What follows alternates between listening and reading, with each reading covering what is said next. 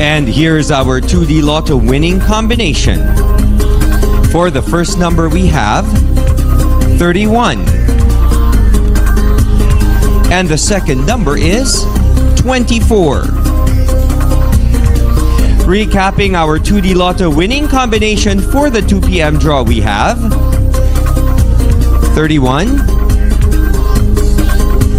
and 24 in exact order. And here are the results of the 3D Lotto draw. For the first number, we have 2. The second number is 8. And the third number is 3. Again, our 3D Lotto winning combination for the 2 p.m. draw is 2,